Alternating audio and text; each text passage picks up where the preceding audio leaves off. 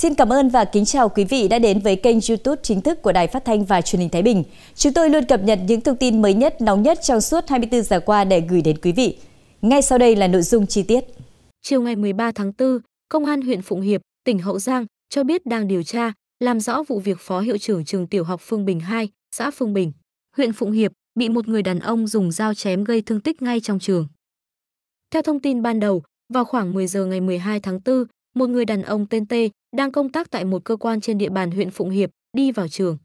Do vợ ông T công tác tại trường và ông T cũng quen biết nhiều giáo viên trong trường nên bảo vệ nhà trường mở cửa cho ông T đi vào sân trường. Khi đi vào ông T đeo khẩu trang và mang theo một cái túi. Ông T vào trường là để tìm gặp ông N. T. V. Phó hiệu trưởng trường tiểu học Phương Bình 2. Khi vào, ông T đến phòng làm việc ông V, nhưng ông V đang lên lớp dạy. Ông T ngồi ở băng ghế đá, trò chuyện với một số giáo viên của trường. Ít phút sau, khi xong tiết dạy, ông V đã gặp ông T, cả hai vào phòng làm việc của ông V để nói chuyện. Không lâu sau, mọi người nghe tiếng cự cãi lớn khi ông V chạy ra khỏi phòng, trên người đã có nhiều vết thương. Theo những người chứng kiến vụ việc, khi ông V chạy ra sân trường, ông T vẫn tiếp tục đuổi theo chém, nhưng các thầy cô khác đã ngăn lại. Sau đó, ông T bỏ dao lại và đến cơ quan công an đầu thú. Ông V được đưa đến bệnh viện cấp cứu.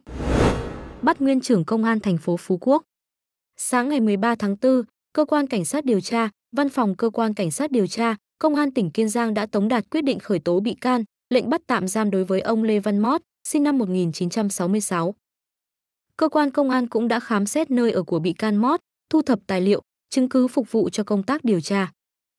Lê Văn Mót là nguyên trưởng công an thành phố Phú Quốc, từ cuối năm 2017 đến đầu năm 2023, nguyên trưởng phòng cảnh sát phòng cháy chữa cháy và cứu nạn cứu hộ công an tỉnh Kiên Giang, nhận quyết định nghỉ hưu vào đầu năm 2024. Ông Mót bị bắt do liên quan với vai trò đồng phạm trong một vụ án lừa đảo chiếm đoạt tài sản xảy ra vào đầu năm 2022 tại thành phố Phú Quốc. Hai chủ tiệm vàng trên một con phố cùng mắc bẫy.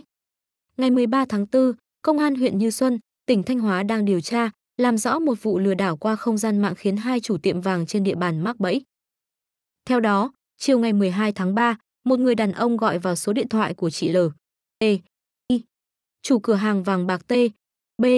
Ở thị trấn Yên Cát, huyện Như Xuân, tự xưng là Duy và hỏi mua 3 cây vàng với giá 209 triệu đồng. Người này yêu cầu chị Y giao vàng cho chị N. T. H. Chủ cửa hàng vàng bạc H. P. Ở cùng phố và nói sau khi chị hát xác nhận đủ 3 cây vàng thì sẽ chuyển tiền cho chị Y. Cũng lúc này, chị hát nhận được cuộc gọi từ số điện thoại tương tự và nói cần bán cho chị hát 3 cây vàng với giá tiền 203 triệu đồng. Số vàng này, đối tượng đang gửi ở nhà chị Y và đề nghị chị hát sang nhà chị Y lấy vàng về rồi chuyển tiền qua tài khoản cho người này.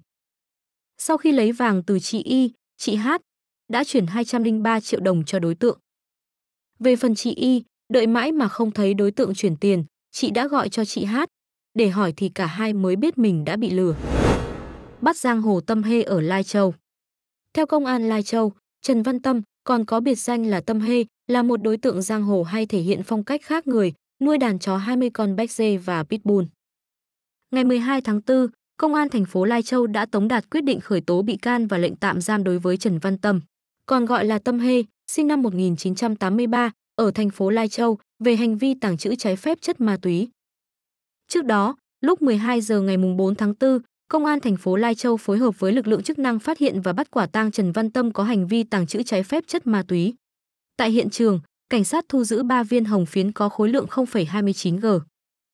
Tiếp tục tiến hành khám xét khẩn cấp người, chỗ ở của Tâm, cơ quan công an phát hiện và thu giữ 129 viên hồng phiến, 3 túi ma túy đá, 4 bình ngâm quả, thân cây anh túc, cùng nhiều vũ khí tự chế gồm 13 dao, kiếm, hai súng kíp, một roi trích điện, một gậy ba khúc bằng kim loại, cùng một số hung khí khác.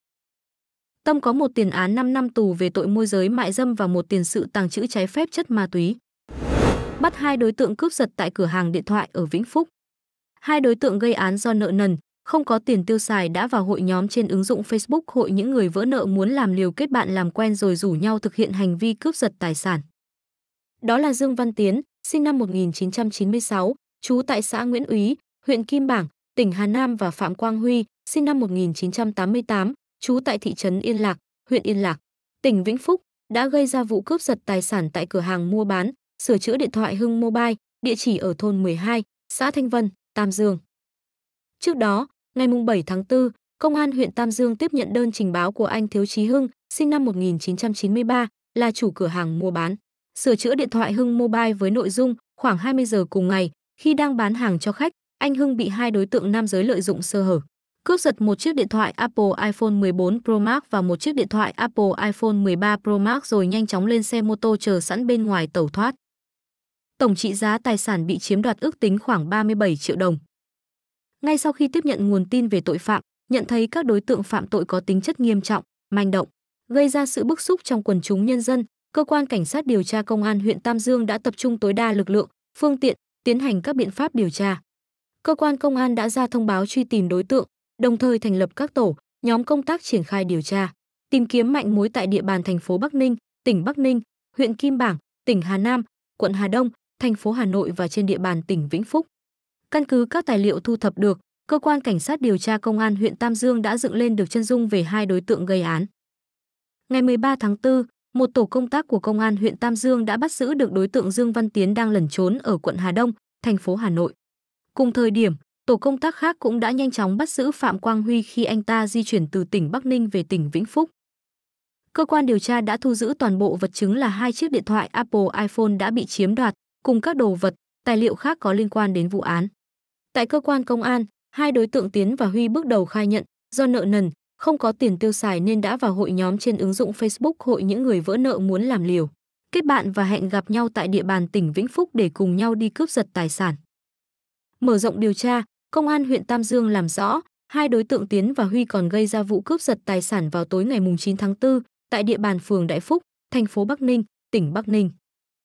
Cùng ngày 13 tháng 4, cơ quan cảnh sát điều tra công an huyện Tam Dương đã ra lệnh giữ người trong trường hợp khẩn cấp, quyết định tạm giữ đối với hai đối tượng Dương Văn Tiến và Phạm Quang Huy về hành vi cướp giật tài sản.